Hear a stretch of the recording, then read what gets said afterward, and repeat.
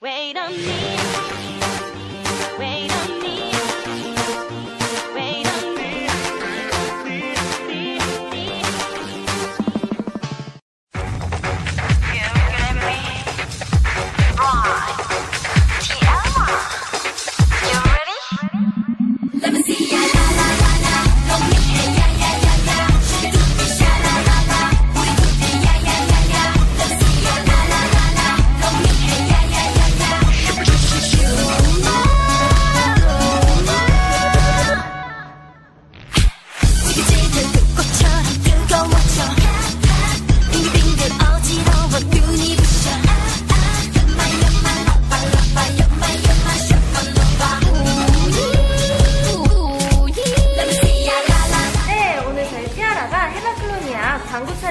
왔습니다. 어, 제가 마치 실제로 해바클로니아의 전사가 된 것처럼 그런 마음가짐으로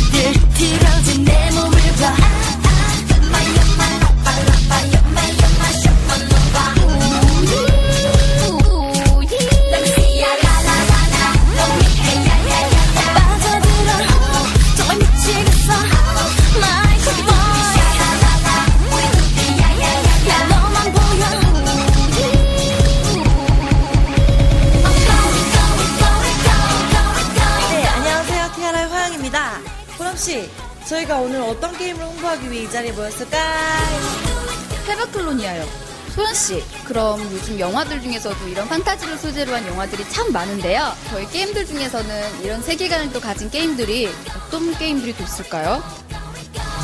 네, 바로 헤바클로니아죠. 그럼 큐리씨, 판타지 동화처럼 아름다운 이야기와 또 귀엽고 아기자기한 캐릭터들이 많이 있는 캐주얼 어드벤처 RPG는 무엇일까요? 해바클로니아요. 아, 효민씨. 무서운 몬스터를 진화와 성장을 통해서 나만의 귀여운 클론으로 만들 수 있는 게임은 어디 없을까요? 네, 헤바클로니아에선 가능하죠. 네, 지연씨, 재미와 게임성의 밸런스가 잘 조화된 게임은 뭘까요? 물론 헤바클로니아죠. 은정씨, 2011년 5월 4일에 오픈하는 캐주얼 RPG계의 최고 기대작은 무엇일까요? 아닌가요? 티아라 여러분, 우리가 생각하는 해바 클로니아를 한마디로 표현하자면 꿈꾸는 자의 첫 번째 선택